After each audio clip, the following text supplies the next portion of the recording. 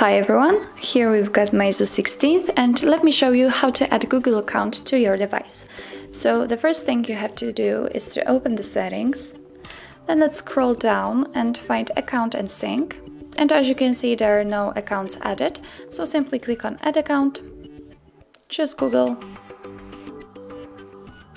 and from this level you can either create account if you do not have your own or simply type email or phone so let me type my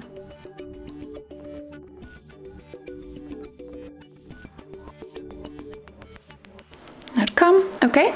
After that, simply click on next. And here you have to enter your password. Let me do this off the screen.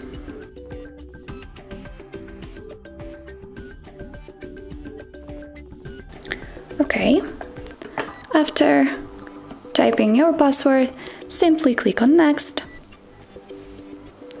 And now you uh, have to read the Google Terms of Service, Google Play Terms of Service and Privacy Policy. And after that simply click I agree. And as you can see this is how you add the Google account to your device. Simply click on accept.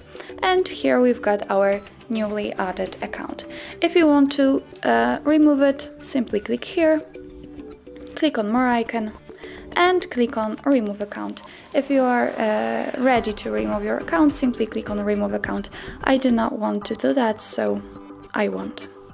So this is it. This is how you uh, add Google account to your device. So if you find this video was helpful, please hit the subscribe button and leave the thumbs up.